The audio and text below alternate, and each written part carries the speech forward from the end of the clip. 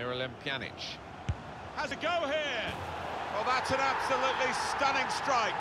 I cannot believe he took that on, Martin. It, it stunned me, and it certainly stunned the keeper. Well, they'll be showing that over and over again.